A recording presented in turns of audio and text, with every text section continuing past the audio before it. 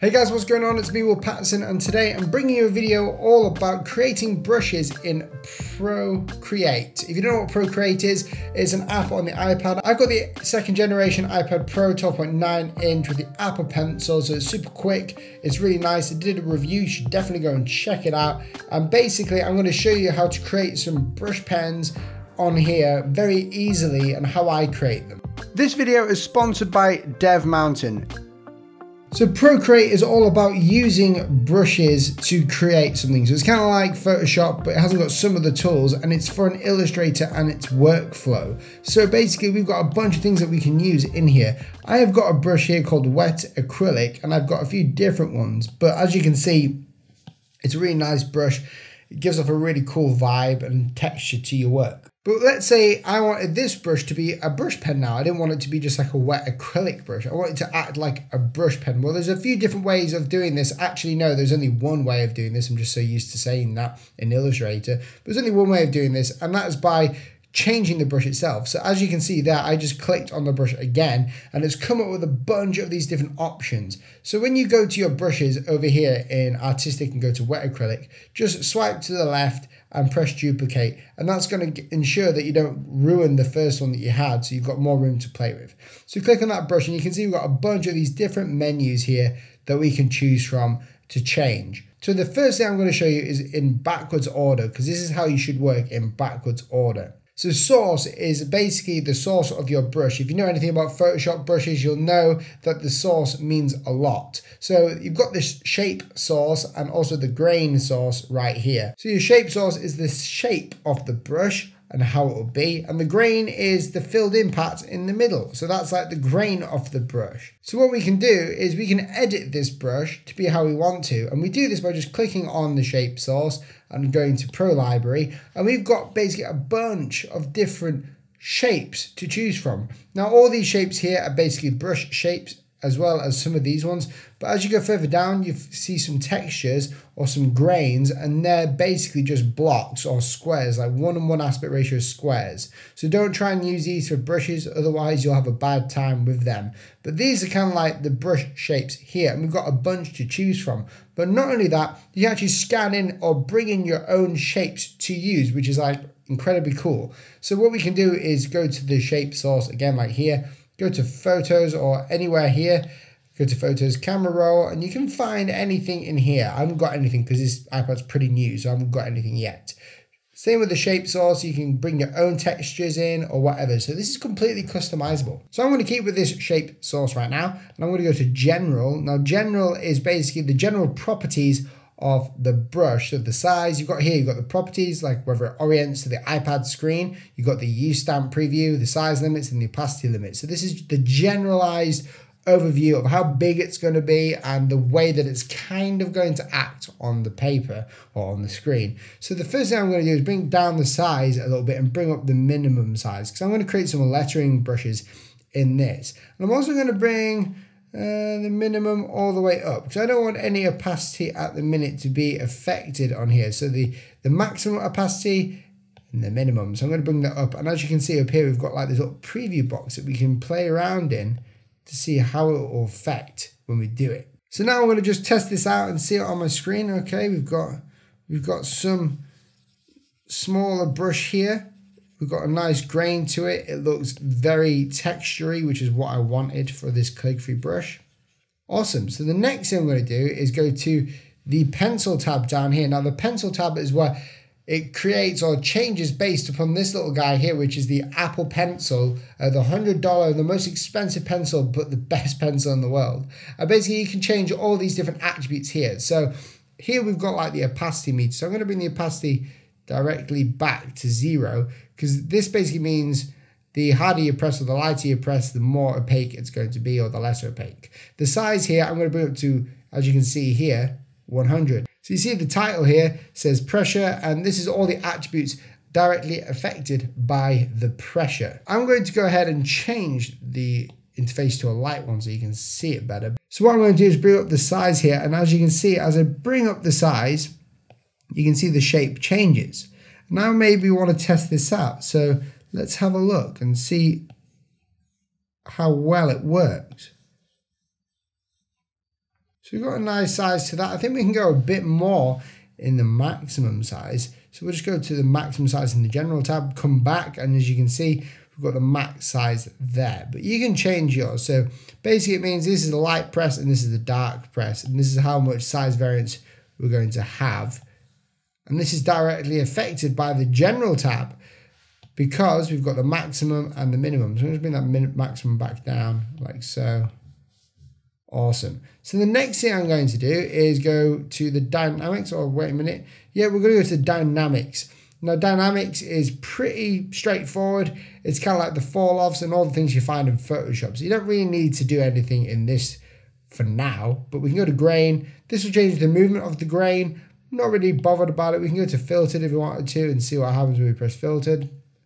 Let's see what happens yeah, we'll keep the filtered. I just generally play around with these ones. The shape as well, I don't really do much in here for this kind of brush, but sometimes I press this thing here, which helps me quite a lot with the brush pen experience. So I'm just going to press that on as well. And what this does is it actually changes or keeps the brush angle or the shape of the brush to where you want it to be corresponding with a pencil. So just like a normal brush. Now finally, the most important tab is the stroke tab over here. Now this tab here basically allows you to create the smooth lines that you want. And this is where I am mostly. I'm not sure about anyone else, but this is where I am mostly. In fact, I'm going to change the name of this to New Brush Pen, just so I don't get confused. And then I'm going to go ahead and bring out Streamline. This one is huge for any calligraphers out there. This Streamline tab Actually, I'll show you. So this is without Streamline. I'm going to try and write, you know, uh, hello. So hello. You can see here I'm struggling to keep the consistency correct. Okay, so that doesn't look too great right there. But if I was to bring Streamline in, you can make a huge difference. So I'll bring it up to 73 or something. You'll see a huge difference. Now what Streamline does is it literally just streamlines your paths or your pressure and the way your brush is going to be. It makes it so the lines are a lot smoother. It's kind of like the smooth tool in action on here. And I have that on nearly all the time on different variances for different brushes. Now spacing is a strange one. The more spacing you have, the more imprints of the brush you'll have, so less imprints of the brush. So you can see here we've got a bunch of different spacing. And then if we bring it all the way back down, you can see all these imprints are brought together to create the actual brush stroke. Now that is how brushes are created, just little tiny dots like this in different variances. Now, I don't like the tapers that we've got going on here, so I'm going to get rid of them. What the tapers do is they make sure that the start and the end of the stroke, it's small. So it's like kind of like, if it was like this, it tapers off like that forcefully. But I don't want that because it kind of ruins my kind of lettering experience. Now here you can see I've got this like kind of lettering going on here and this looks really nice, this brush, and we haven't done much. One thing to keep in mind when creating a brush pen in Procreate is to keep the thins and thicks not too thin and not too thick. Now when I'm creating lettering like an E for instance, I'm going to start off thin and go thick. So I'm going to add pressure and then come back off again. Now you can see here that the thins and thicks aren't too bad, uh, but if we increased the size to like 121, you'll see that it doesn't look correct. And you can do this for certain styles of lettering, but it doesn't look too great. So make sure that the thins and thicks aren't too massive in this little panel here. We'll go to like 40 or something. And this is where we just play around with it really to get the right one. You can see here I've got really nice consistency right there. So the next brush I'm going to show you is the one that you saw at the start of the video, which is this one. So I'm just going to write brush. This one is a lot different in a few cases and it's a bit more difficult to do depending on how much time you've got and how much knowledge you have. But this one basically, as you can see, is kind of squared off like a marker brush pen. You can see here when I click, we've got this kind of like shape going on there. So it's all squared off. Now, if we go and take a look at this brush by clicking on it and going to the shape sources, you can see that the shape source is a shape that I've brought in. So I did this in Illustrator and brought it in. Now when you tap with two fingers, it's going to invert the colors from black and white. Whatever is black is going to be showing up like this, or whatever the negative color, whatever is white is not going to show up or it's going to just fill whatever. So I brought this brush in from Illustrator very easily and the reason why the brush doesn't just stay vertical like it should be like this is because I've got this setting on called azimuth and I don't know how to say it but it's there. You can see it, I can see it, it's right there.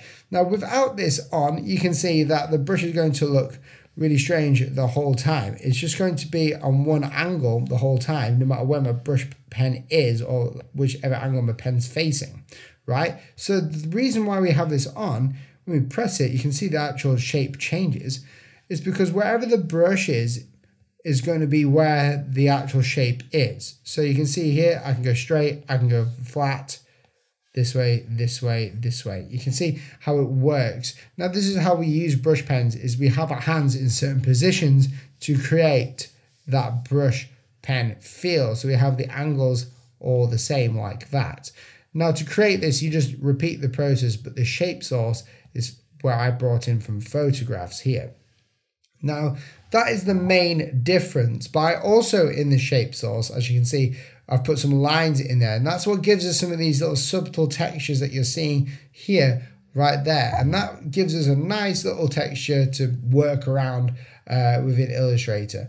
But the rest of it is pretty much self-explanatory. You just play around in these different things here. You can go to my website, download a brush, and you can literally check out what I've done here. And these brushes are like dirt cheap. I just put them up there for a few pounds for you to get and to use, and you can use them wherever you want in your Procreate or however you want, and you can change every aspect of them. So guys, I hope you enjoyed this video. If you enjoyed learning a bit about the brush pen and how to create brush pens or brushes for lettering in Procreate, then subscribe to this channel. I put videos about hand lettering, logo design, and tech for designers, which is something that's starting very soon. If you missed the tech review of the iPad Pro, new one, then go ahead and look at it at the end of this video. It's a good video.